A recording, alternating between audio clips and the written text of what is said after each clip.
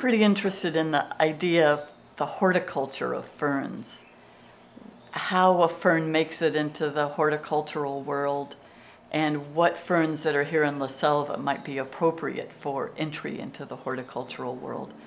I got this book, another book from the Fairchild Garden in uh, Miami, that's by F. Gordon Foster called Ferns to Know and Grow. And he talks about indoor ferns, so houseplant ferns as well as outdoor ferns.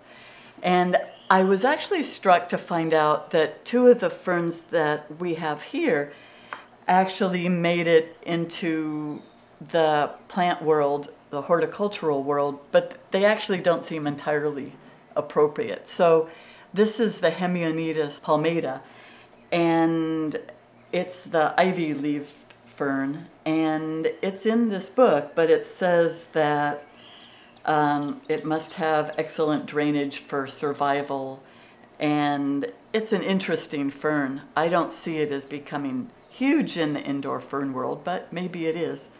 And then another fern that I was surprised to see in this book was an Ophioglossum, which is this uh, adder's tongue. And here at La Selva we have Ophioglossum reticulatum, but in this book they have Ophioglossum engelmannii and Ophioglossum vulgatum. But both of these are considered too small to be considered usable in horticulture. So it may be that every single fern that I'm working with here at La Selva actually is part of the horticultural world. That's certainly a world that I don't know anything about. But there are a couple of ferns that I think would be particularly appropriate in the indoor plant world in temperate zones. And one of them is uh, the shoestring ferns. These Vittarias are really hardy and they, they look nice. Here's a little one, but this big one right here is, um, I don't know how they propagate. I usually find these as big chunks that fall out of the canopy. But I think this would be a magnificent houseplant.